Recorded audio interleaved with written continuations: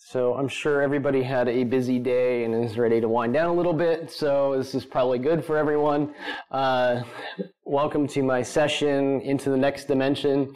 Uh, my name is Ed Charbeneau. I'm a software developer advocate for a company called Progress. I specialize primarily in a product of ours called Telerik DevCraft. Uh, if you've been doing any uh, .NET develop, development for uh, any amount of time, you've probably heard of Telerik before. Um, we've rebranded uh, as Progress now. And uh, we have some more products that came on board as part of that and some uh, name changes. But we're still the uh, same company that builds amazing UIs for uh, not only .NET, but web interfaces and mobile as well. So ASP.NET, um, Windows Phone, Android, iOS, you name it, we have awesome UI suites for those. Um, I'm a Microsoft MVP, an author. I'm working on ASP.NET Core book right now. I write for uh, the Telerik Developer Network, which is a blog of our own.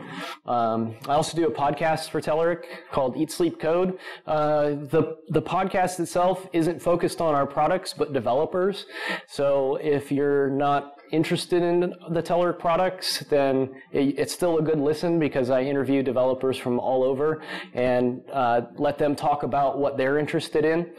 Um, and if you want to interact with me, I'm always on Twitter uh, by my name, Ed Charbeneau. Uh, just send me a tweet and uh, I'll get back to you right away. I'm always on there talking with folks. So I hope you enjoy this presentation. It's a bit of a fun presentation. Um, I'm a little bit of a history nerd. Um, I love technology and I love like things about the future and stuff like that. So this is kind of a culmination of those three things. And uh, there's kind of a story that, that brings us all together. So I hope you enjoy it. I hope it's a good way to wind down your day. Um, so as a vehicle for this talk, I'm going to be using the Twilight Zone. So, has anybody in this room not seen The Twilight Zone? Okay, awesome. Depending on the crowd, like, this is a very mixed bag. so, I've had almost nobody, and then almost everybody, and here is great. So, you'll understand where this is coming from. So, to kick things off, you're traveling through another dimension. A dimension not only of sight and sound, but of data. A journey into a wondrous land whose boundaries are that of the imagination. Next stop, the Twilight Zone. So, why did I choose the Twilight Zone to take us through this talk? The Twilight Zone often dealt with technology. Okay, so it was a frequent topic on the show. Uh, in this case, uh, the photo up here shows uh, an android with uh, its face ripped off. And uh, I remember this episode pretty well. Uh, this guy was exiled to another planet, and he was completely alone. Um, and he was wrongfully accused of a crime. and the warden felt bad for him, so he gave him an android to keep him company. And uh, at the end of the show, he was trying to make the decision of should I stay with my android friend or should I go home at, after being acquitted of the crimes? So the common theme of the show was sometimes technology, but the real theme of the show itself wasn't technology at all. It was the human condition. So I'm going to talk about how technology plays into the human condition and uh, how it's affecting us and what the future is going to be like. And from my point of view, there's three technologies that will help shape this future. And it's up to us to kind of figure out how we're going to react to that. And a, a second reason I chose the Twilight Zone is because it's a reference to the past and it was from an interesting age. Uh, it was the atomic age. And this is back when the future really looked futuristic. Like, I don't know if you've ever gone and watched like old science fiction films, but this was an age of like fins on cars and just everything looked cool and futuristic back then. Uh, so it's a good, a good way to set us back in that time zone. So we're going to start with big data. That's going to be the first technology we'll talk about. And big data, if you're not familiar, is uh, the, the use of extremely large data set. And we use this data to analyze patterns in, of course, human behaviors and interactions. And we're going to go to uh, 1961, which is within that time frame of when the Twilight Zone uh, was on the air. And let's look at data storage in 1961. So um, I wasn't around to remember this, but uh, hard disk drives were 52 inches tall, 70 inches wide, uh, total capacity 205 meg. Uh, so this is roughly, in today's dollars, $3.6 million per gigabyte. Okay? So even though I wasn't around in 1961, this is not a really long time ago. Okay, this is really, in the grand scheme of things, a very short time ago. Uh, let's fast forward a little bit to today and look at data storage. 16 terabytes in two and a half inches of space. Uh, the price per, gig- per gigabyte is lower than three cents per gigabyte now. So that, that's a great deal of change in roughly 60 years uh, for a technology to transform. And the more space that we have available, the more space that we fill up. So this is a human condition where if we have an empty space, we have this need to fill that empty space. Like people do this with other things as well. Like you can, you'll see people's houses. They try to fill those empty spaces. You know, pictures go on walls. Uh, we we have this need to fill things up, and we're doing this at an exponential rate. So uh, you can see up here that uh, more than 90% of the data in the globe was generated over the course of the past two years. So most of the data that exists came about in a very short period of time. And the total amount of volume of data that the industry captures doubles every 1.2 years. So this is just taking off like a giant hockey stick. Like this is exponential. So knowing that, we can kind of fast forward a little bit and predict what uh, the future of storage might look like and the future of big data might look like. And uh, it's theorized that um, there will be over 40 zettabytes stored by 2020. So to try to put this in perspective, uh, that's equivalent to 125 million years of one hour uh, episodes of The Twilight Zone. So if you sat there and watched them end to end, it would take one, uh, 125 million years to get through all of the video.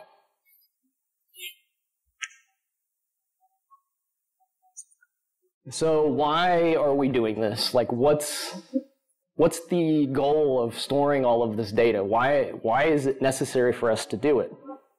And what can we use it for? So I'm going to go back even further in the time machine to 1854. In 1854, an event happened that changed the game. Uh, this is a gentleman by the name of John Snow. Uh, he's regarded as the founding father of epidemiology. And he used data to change the way that we look at health and disease and patterns that caused outbreaks. So back in 1854, uh, people believed that the smell in the air was what made you sick and ended up killing you. And John Snow had a feeling that this was not the correct theory, and he needed to support that evidence somehow. So this was called the bad air theory, that bad air from decomposing uh, flesh and waste caused the sickness. And John used statistics to illustrate how this didn't support his theory. So what he did is he, he got a map of the city uh, during the outbreak. He walked around, knocked on doors, and asked how many people had passed from disease. And when they told him a number, he would plot dots or little bars on his his map. And as he kept doing this, he noticed that the bars grew greater around a water pump. And then when he visited a brewery down the street, there were absolutely no problems whatsoever because the people that worked at the brewery didn't drink water, they drank beer. The beer was distilled, which boiled all the germs out of the water, so they weren't exposed to the cholera, so they didn't have any problems. So this helped support his theory that the bad smells weren't the problem, but the water was the problem.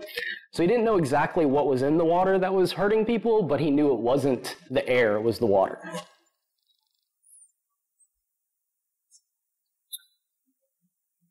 So what will we do with data in the future? We saw what John Snow did in 1854, uh, and here's what we're doing today. So Harvard researchers are uh, looking into uh, cell phone records. They took 15 million users and they're able to track patterns of disease being spread. And one of the diseases they're tracking is cholera. So this age-old problem still exists in parts of the world, and Harvard researchers are using cell phones in developing countries as a mechanism for trying to figure out where outbreaks will happen next. and they're gonna they're gonna use this and put it into a forecasting model for uh, medical uh, people to use and access throughout the medical community. And there's a lot of different points of data besides cell phones that could be used for things like this. So we have wearables, you know, these are things that are on people's bodies and tracking things. Uh, some of them um, can track body temperature. So if people are getting fevers, that's data that be collected. Uh, Nest thermostats have data and they track data. Uh, if you're sick, you may, you know, change the temperature in your living space. Uh, so there's a lot of things that can add to this. And as we go into the future, these things increase in accuracy, and by doing that, they increase the forecasting ability.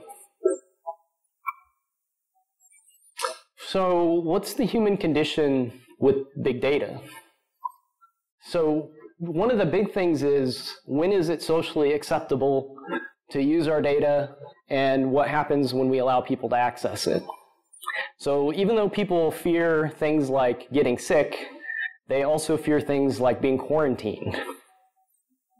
So there's kind of a fine line there that people want, they want the benefit of the technology, but they don't want the downside. So moving forward, how do we make sense of all this data? Remember I said 125 million years of video is about the capacity that we're storing. And that brings me to the next technology I want to talk about, and that is machine learning. This is something you've probably heard more and more about uh, being talked about at conferences and uh, reading about in blogs and journals. And artificial intelligence is actually uh, the term that we used to use for this.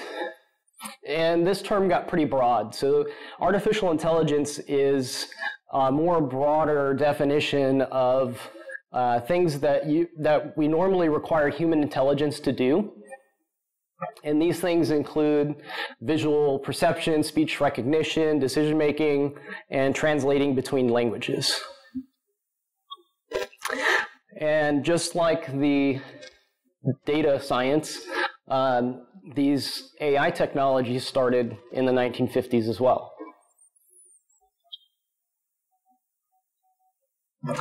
So in the 1950s, AI research began. Alan Turing proposed the Turing test. So this was like a basic test to uh, quantify a computer's uh, human-like intelligence. And then in 1956, there was a Dartmouth conference. This is considered the birth of AI. Uh, there was a lot of scientists that got into one room together and kind of did like an incubator type of thing, and they came up with all of these ideas and algorithms that uh, we even use today. Um, and we came up, they came up with things like reasoning as search, natural language, micro worlds. Um, natural language you might use today in things like uh, Siri. Um, Microworlds uh, is something like uh, what the Kinect uses to kind of find its way around a room or, or examine a room in 3D space. So these are all things that actually came out of the 50s. And it's really interesting because these were times where people had really big ideas, right? Um, this was when uh, we started opening, opening the first nuclear power plants. So we, we harnessed the atom. Um, the Soviets landed an unmanned spacecraft on the moon, starting a space race. So there were these really big ideas, uh, things that were once science fiction, were starting to become reality. And for decades, we, we worked on these AI things, and uh, the problem was that the the imagination and the the expertise of the the people that worked on them uh, weren't any less than they are today, but they just didn't have the computing power or the storage capacity to make use of it. So what ended up happening is they did a lot of uh, smaller things like solve, uh, like checker and chess games and things like that. So their ideas uh, were surpassed by the capabilities to execute. And sometimes big ideas need time for science to catch up before they can be a reality. So this is a, an old comic. This is Dick Tracy, and uh, you can see he's talking to his his watch. Um, so back then, that was absolute science fiction. Today, not so much. So this is something that eventually became reality. So let's look a little bit at today. And today we're using a subset of AI called machine learning. And the, the real thing that makes machine learning uh, important is that it uses algorithms uh, to make predictions based on data. So remember all of that data that would take a person forever to analyze, uh, we're now using machine learning to analyze that data and do the predictions for us.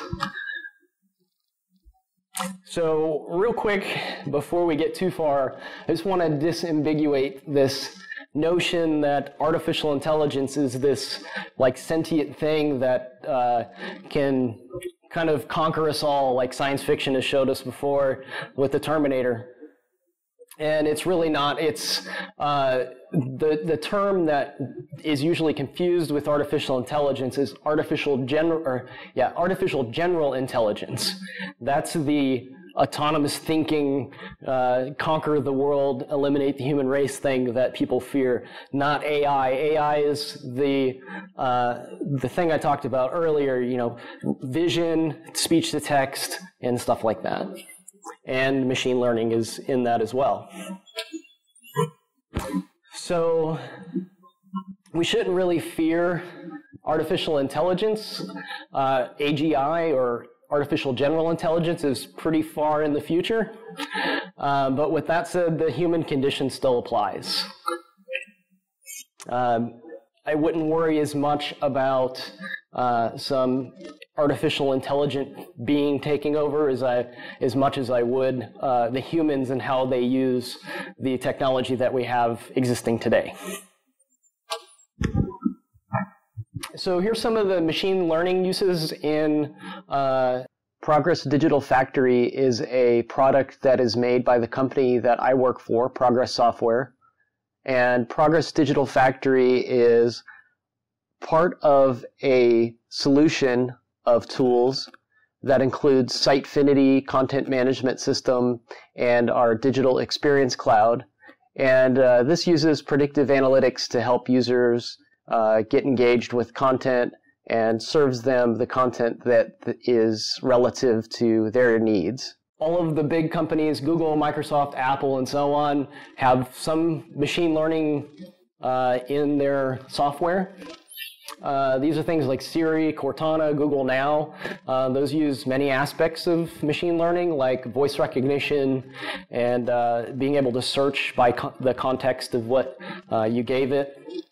Um, there's a lot of things going on under the hood, and there's even very trivial things that these companies do and use machine learning that you wouldn't normally expect uh, an application of that um, small of a subset to be using machine learning. For example, the Microsoft Windows Phone keyboard uh, has been tweaked using machine learning. So they, they were collecting user data on spelling errors and based on those spelling errors, uh, they were able to predict when you're going to misspell a word. So they would set the hit size of the key that you were going to miss, uh, that you needed to hit uh, larger, so you didn't accidentally hit the key that was next to it on the keyboard. So if, you're, if there's machine learning going into something as simple as a keyboard, uh, I can guarantee you that these big companies are using it in many other aspects of their software.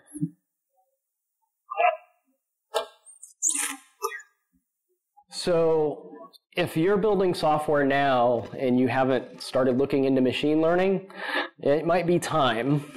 Um, the people that are the companies and folks that get on board with machine learning now are going to be much further ahead of the folks that don't.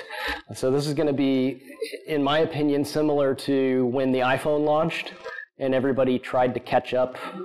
And uh, they had to play catch up for quite a while. And some of them didn't make it.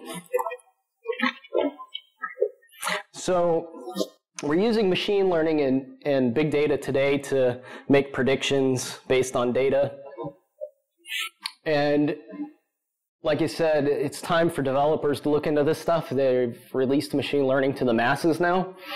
Um, Azure has uh, quite a robust platform for machine learning that's accessible to uh, developers through a GUI system. Um, Amazon has machine learning available as well, and Google uh, has open sourced theirs. So these are all things that have made, been made devel- developer friendly. You don't have to be a data scientist to understand how they work. And then the human condition comes about. So there's been some misses with machine learning. Uh, this is an interesting one I wanted to talk about. This is where Target figured out, this is an actual headline that I put up here. Target figured out a teen girl was pregnant before her father did. This is an actual headline from an article I read. Uh, again, unintended consequences is a human condition. Uh, we we're creepy when we do stuff like this. And what had happened is Target was using machine learning and tracking people's purchasing habits and because of those purchasing habits or the things that you buy or stop buying, uh, they can tell that somebody may be pregnant. So what they did is they started sending her physical mail with advertisements for baby stuff. So dad goes to the mailbox, pulls out the ads, and gets mad calls Target and says, please stop sending my teenage daughter these ads for baby stuff. You're going to give her the wrong idea and think it's okay to have a baby. And they said, we're sorry, but it's probably too late. Turns out they were right. Doesn't make them any less creepy. So, uh, dad was let down slowly and, um, Target changed their practices somewhat. Uh, from what I understand, they they just kind of obfuscate the uh, mail with additional stuff. So you'll still get the baby mail, but you'll also get like I don't know, like windshield wiper ads or something to cover it up. So that that's what I understand of the the resolution on that. Um, and then with great power comes great responsibility, right? Uh, remember, I said, don't worry about the Terminator coming to get you. I think uh, we're kind of doomed before that. Um, the Def- Department of Defense is interested in a company that is uh, trying to use artificial intelligence or, or, machine learning to model when um, terror groups or militant groups are going to attack somewhere. Uh, God forbid they arm drones or something and let them fire autonomously. Um, like I said, these aren't smart machines. They're not AGI machines. They're machine learning machines that can make simple mistakes if you feed them the wrong data. So, like I said, we, we have to get to AGI before we can worry about AGI. Uh, we, we may have bigger fish to fry. So, what does the future hold for AI technologies? Uh, with much more data, these things become much more useful and accurate. Uh, we're collecting data on all sorts of things these days. Uh, how many people have a wearable in the room? Got yeah, a little more than half. Uh, depends on what conference you're at. It's usually a, a pretty high number. Um, we have GPS data. I mentioned thermostat data. Uh, the Kinect captures 3D video. Uh, I don't know how long they hold on to it, but it's uh, very uh, reasonable to think that we could capture that indefinitely pretty soon. Um, your search history, your Twitter history, uh, and the scope of data is starting to get wider. Um, I saw a uh, changing table that had IoT features where it would tell how heavy your baby is when you put it on the table to change it, and then it would let you know if the baby is losing or gaining weight. Um, so it could alert you to medical problems early. So we're capturing data from from that small of an age, uh, and it's getting to every aspect of our life. Um, and we're collecting data that we have no use for today, but could possibly have a use for tomorrow. Question. Yes. A lot of these companies are collecting the data, and my impression is the data is not being connected uh, between the companies behind the scenes for cross analysis. So while my wearable may have my step patterns and my sleep patterns, that may not be connected with my buying habits Okay, so the, the question or statement is rather um, that, you know, your your Kroger uh, shopping card may not be connected to your Fitbit uh, data and cross-referenced and so on. Um, my point of view would be give it time. uh, we know for a fact that cell phone companies do share our data with other companies. Uh, usually that's where the money's made. And um, at the lunch keynote today, that, that point was brought up as well that uh, Uber has a boatload of data that is worth more than uh, the, well, I think it was the Ford Motor Company as a whole. So uh, I, I, would say give it time. Um, the more that people find uses for it, uh, the more it will be worth uh, to larger companies, and they will pay for it and they will cross-reference it. Um, and that kind of segues into what I was talking about too. So, what happens when we start making sense of the data? It's all licensing. yes, it is all in your uh, terms and conditions. Which um, some of some of the data in this uh, presentation is is actually um, uh, things that I learned from a um, a good documentary called Terms and Conditions May Apply. So if you think that some of this is interesting, that's a good uh, film to watch. Um, they do a good job at outlining uh, some of the stuff. And actually, that that is uh, one of the points here on this slide of uh, anonymous data. So a lot of the data they collect that you were talking about is deemed as anonymous data. So they the companies claim that um, you know this isn't going to be tracked back to you. They're not going to take your search habits and uh, go back and you know point down to one person and say this was Joe's search habits. Um, they're saying this is anonymous data. You can't track it back. So in the documentary, what they did is they sent a private investigator armed with Google, or sorry, Yahoo's anonymous data, and he was able to go back and physically find people and uh, by their search habits. so uh, in that example, he went through and found a person that was searching things like how do I murder my wife, how to bury a body, uh, all these really doom and gloom things about killing someone. Uh, and when he went to the guy's house, it turned out he was a writer for CSI, the TV show. so you can see where missed predictions can happen. When I was saying those things, I know most of you, including myself, were thinking this guy's going to kill his wife. Turns out he was completely not doing that. Um, his his wife actually came on camera and was like, "I'm here, I'm okay." uh, so it's a, it's a fun uh, documentary in that respect to to watch what they did. But that uh, leads me to to this point where if a person or private investi- investigator can reverse engineer anonymous data, sounds like a job for machine learning to me, uh, where you could possibly do that instantaneously uh, based on what inputs you have and what type of machine learning you have available. So this gives us a line that has to be crossed. This is a, another human condition here, where does the benefit of what the results of this machine learning and data, uh, do they overweigh the need for privacy? So if I'm going to know uh, I can predict some bad health problem before it happens, is it okay to share my uh, eating habits, exercise habits, um, you know, health status with some company uh, and hope they use it for good and not look at how many cheeseburgers I've eaten and send that to uh, my health insurance company to deny me a claim. Mm-hmm. So it's a fine line and uh, it's something that we're all going to have to get used to. Um, and uh, we're, we're going to have to give up some of our privacy in favor of benefit.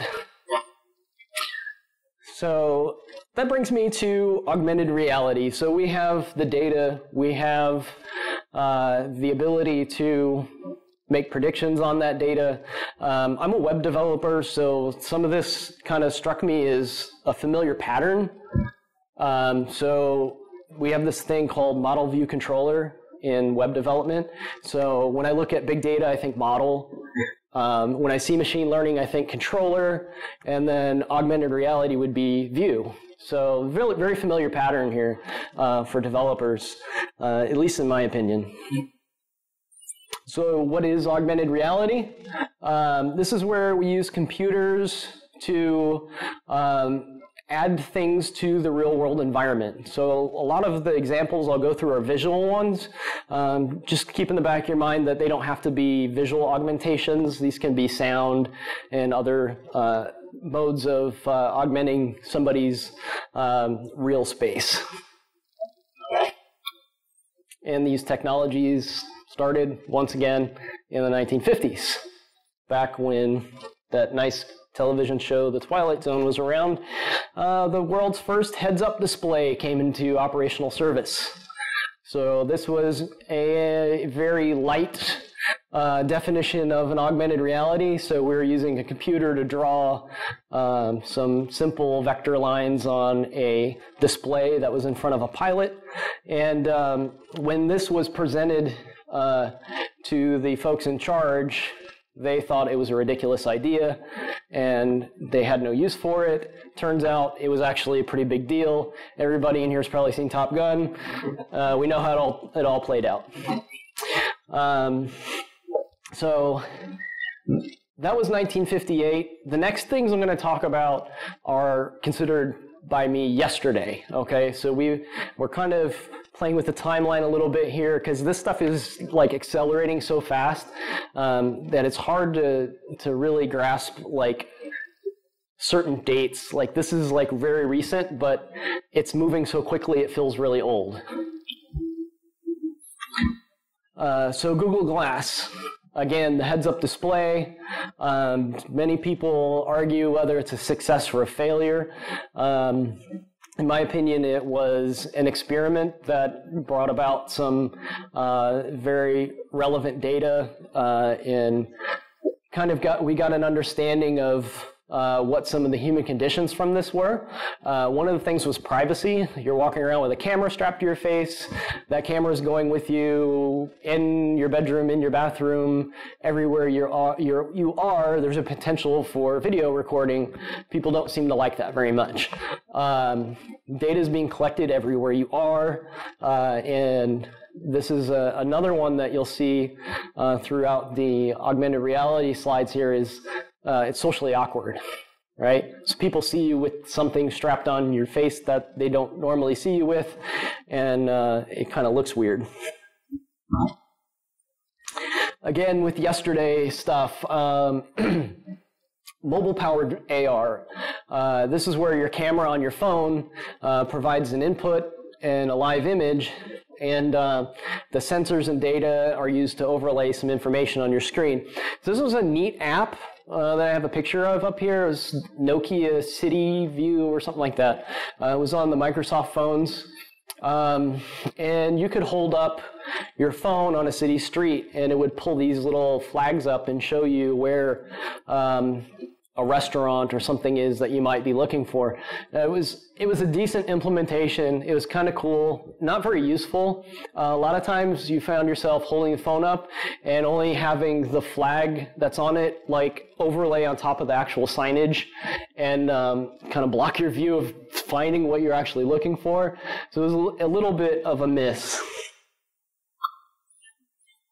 But even though it's a complete miss and it's it's not useful in so many ways. Uh, it's something that if you told, told somebody about it just five years ago, maybe 10 years ago, they'd think it was complete science fiction that you have this little candy bar sized thing in your hand and you're walking around and it's overlaying things on top of the, the image that you're uh, seeing in real time. So that I'm trying to put in perspective like that, you know, 1958 to now isn't that long of a uh, gap in time to come from just some simple vector drawings over um, your heads-up display to this complex device with multiple core processors and cameras and the ability to compute these things and put them into real 3D space using GPSs and uh, that's a lot of technology to come together in such a short period of time. So today we have augmented reality that's uh, amped up a bit. Uh, this is one of the coolest examples um, that I've seen. Uh, this is called Google Translate. This is something you can get on your uh, phone right now. Um, it's free. It's a Google app. If you go visit another country, you can hold your phone up and in real time, this app will not only translate the language, but it will overlay it in such a way that it looks like it's part of the original signage. So there's several uh, machine learning capabilities being used there. You've got speech, um, or sorry, not speech, but uh, language translation. Um, and then they're they're using some kind of algorithm to figure out what color the sign is and mesh in uh, and make it look like it's actually part of uh, the original signage. It's very impressive and it does work. Um, of course, not perfect, but again, if you think about the amount of technology that's gone into this, um, the imperfections are easy to overlook uh, in all of what they've done. And that's today. So um, let's look at near future. Uh, once again, heads up displays. Uh, so Microsoft has a really interesting um, device that's coming to market uh, it's available to all developers now at a pretty steep price, but it is available. This is a real thing. It's not vaporware. Um, and the Microsoft HoloLens um, has a unique capability that hasn't really been in other products yet, and that's the ability to sense the physical space around it. Uh, so what makes it unique is it can tell where walls and furniture and floors and all of those things are, and then you can mount virtual things to those surfaces and they will stay put. So if you make a wall, um, a movie screen on your wall, turn your head, it will stay on the wall. Walk out of the room, it will stay in that room. when you come back, it's still where you put it. It doesn't follow your vision around and obscure where you're walking and going. Um, this, this is something that's a bit of a game changer. And there's lots and lots of applications for something like this. Uh, medicine is one of them. Um, industry, education. Uh, there's some really cool um, demos that they've shown that are um, kind of like beta ideas of what can be done with this. And one of them is a repair situation where you can instruct somebody uh, through a repair process and using a tablet in a remote location, you can actually draw in 3D space on what that person is seeing. So you're able to augment their vision from a remote location and show them, you know, this screw goes here, this needs to be twisted counterclockwise, and so on. Um, and they're, they're able to see that in their vision. Um, there's actually companies that are looking into using this, and they're pretty far along already, uh, where they're using it for uh, maintenance situations. So the maintenance person can go out to a large piece of equipment, and uh, right now they're they're experimenting with Hololens. Some are using iPads, and they hold up their iPad, and the iPad overlays on top of it uh, where certain components need to be pulled out, and uh, like air filters changed and things like that. It shows them the process and everything, eliminating the need for a manual. Uh, they just walk out with an iPad, hold it up, and it's it animates through you know the process of taking out the air filter, putting a new one in, putting the screws back, and so on. Uh, this is an actual app that's in the marketplace. Um, IKEA has virtual showrooms. So, like I said, these uh, devices don't have the ability to, to sense space. Um, so, what you do is you print out what is essentially a QR code, place it on the floor, and it uses that to recognize the space and you can try furniture in your room and see how it looks with other furniture and matching colors and make sure it occupies the right amount of space. But once again, we have some human conditions that apply. Uh, looking silly is definitely one of those human conditions. Um, it, it's just weird, very weird looking, um, to say the least. Uh, so if that's what's happening in the near future, uh, what is the future of this technology? So I'm going to go off the deep end for a minute. Um, I'll try to reel you back a little bit. So if data is able to do all of these things, um, there is a certain definition of the fourth dimension that says that uh, the fourth dimension is multiple instances of the third dimension that occupy the same space. And it's kind of hard to wrap your head around. Um, that's because we can't see in the fourth dimension. If we were able to see in the fourth dimension, we would need some type of device to help us do that. Um, so what I'm suggesting here is that we have this available to us, and it's um, the fact that the data is the fourth dimension, and that augmented reality is the device that we're looking through to experience it because we can't see it with our own eyes. Um, and the applications that we're using are these different instances of another dimension that exists on top of the one we're in now. So, I mean, it's not really too far fetched that this is a real thing. Um, uh, I don't know how many people did this like just now. That's that's on the screen, folks. It's not it's not really here with us. So, for example, Pokemon Go, uh, which wasn't available when I wrote this talk, um, just recently came about and kind of uh, turned the industry on ear, and people started paying attention to augmented reality and uh, finding out it's a real thing and it's marketable and it has uses. Um, a lot of times we use games to uh, find uh, uses for things, and I think this one kind of struck with a lot of people as useful um, for a gaming situation, and now they're trying to apply it to more real world situations. Uh, but this is an example of what I'm talking about. As I sit here and talk, there could be Pokemon in the room with me. Uh, if you were to load another app uh, or want to do something else. If you had glasses on that were augmented in some way, somebody could be watching sports instead of listening to me talk. Um, and that brings up another human condition. Is it information overload?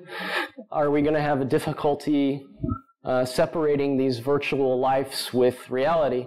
And uh, an example I'd give for that is my wife already isn't happy if I'm texting or emailing in the bedroom. Um, I don't think she's going to be too thrilled with me wearing. You could be in the doghouse very quickly. Uh, joking aside, like just the the attention um, draw of these things could be enough to annoy people and uh, you know make people angry that you're not paying attention to what they're doing or watching a show that you're supposed to be watching together or these these never happened to me this isn't from personal experience um, but you get the gist of it uh, so some of, there was actually some uh, human conditions that came about with Pokemon Go as well. Um, it became the most popular mobile game in U.S. history, like immediately. Like this is record-breaking stuff. Um, and a lot of positive things came out of that. Uh, it got people outside, it got people interacting with their family, um, it got people somewhat out of their devices and uh, into more of a social uh, structure where they're talking to each other in person and whatnot. Um, and then there were also some not so great things that happened, like people playing in their car and wrecking their car. Um, there's a uh, mechanic in the game called a lure, which brings in Pokemon. Um, the bad part is criminals can put these lures out, and when Pokemon hunters come hunting the Pokemon, they rob them and take their cell phones and wallets. Uh, and then People also noticed there's a huge amount of data being collected that they weren't quite aware of when they downloaded and installed the application. So there, again, we see that there's this human condition underlying all of this stuff. Uh, so when we combine all of these things together in the distant future, remember we saw things being you know, as big as a room in the 1950s or being very um, infantile in their uh, amount of computing power and the algorithms scaled within 60 years time to be these amazing um, once uh, science fiction things are now reality uh, we we kind of have this weird future that we need to look at. And one of those things is um, it's kind of interesting to me. I, I, don't follow Ray Kurzweil very closely, but I've I've seen some of his um, documentaries and things. They're, they're, interesting. If if you don't know who I'm talking about, uh, he's the gentleman that talks about the convergence or um, the end all be all is uh, you're uploading your consciousness into a machine. Okay. So uh, he's probably way smarter than I am, but I'm going to take a stab at that and say it's um, it's one of those things where you're thinking of the future in today's context, not tomorrow's. So here you have a person that is probably not much older than me. Um, I've lived without data collection for many years, so this is a necessity to me if that's what I want. Um, in the future, down 10, 20 years, when a baby is born, they may have had data collected on them prior to birth, let alone after. So they're constantly inputting data into a system through Facebook, Twitter, things that haven't been invented yet, sensors that haven't been released yet, um, IoT, wearables, data just tons of data collected on a person for their entire lifetime from birth. Um, do you need to upload into something, it's already there. It's already there. You've already collected it for forever. Uh, what are we uploading exactly? Uh, with machine learning, you can make predictions based on that life history of data. Everything I've liked on Facebook, every picture of food I took, you know everything I eat, I love, I dislike, person I've uh, I've supported uh, for politicians, you name it, it's going to be in there, and you could use machine learning to predict what I would like, even when I'm not around anymore.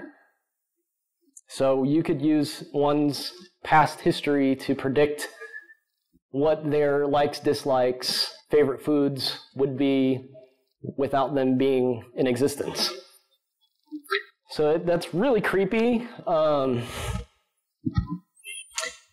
you know, some people don't like topics like that being even discussed. It kind of makes their skin crawl or makes them want to lash out at technology.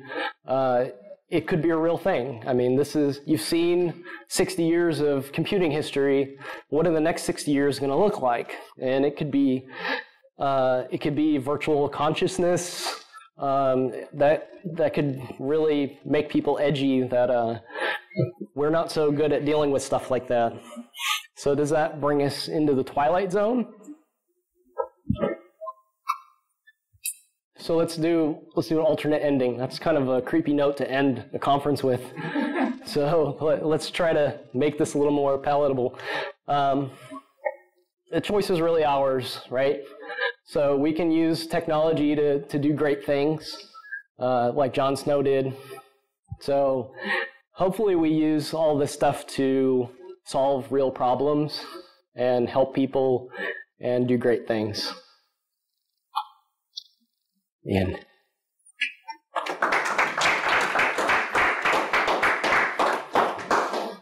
Any questions?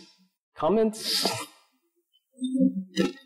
Who's creeped out? I think um, you, you made the point like that how's it going to impact people or you know you're distracted and you know you got people at the table they're on their phones and stuff. And I think that we'll just kind of evolve as a society that will the norm. And yeah. You see that with the younger kids. Yeah. They don't have the same sense of privacy that we have. Some of this big data stuff freaks me out. Like my son, it's the way it is. It's the way it is. It's how he grew up. He's used to it. And he doesn't really care. Yeah, it's the act of getting over that hurdle that is the struggle, right? That's like the the part where you have to like accept it is the hard part. Only we will have to do that because the other one's already out. Right. But I think physiologically, physiologically and physically and how we just evolve as people and in society, like, it's really interesting to see where that goes. Right? But, man, that was awesome talk. Thank you. Okay. Glad you guys enjoyed it. If uh, you visit the talk online, it's up on SlideShare. I can tweet out some links later. There are actual articles behind all of the points I made. I did a lot of reading to, to make this uh, so it wasn't just um, my opinion, but rather based on my opinion based on real things. Uh, and this list grows daily because there's just so much happening so fast. And um, it's it's really hard to keep up with. Like trying to trying to explain Pokemon Go to people before Pokemon Go existed is difficult enough. Um, but then when it easy to talk about now. Yeah, but when it comes about, like you know, people are like, how do we how do we make the next Pokemon Go happen? Well, I don't have the answer, but it's in this somewhere. Like, hopefully somebody finds it and remembers me. Like, thank you all. I just want the hover car converter. Why can't I? That's all I'm saying. If I had that, I can get over my big data problem.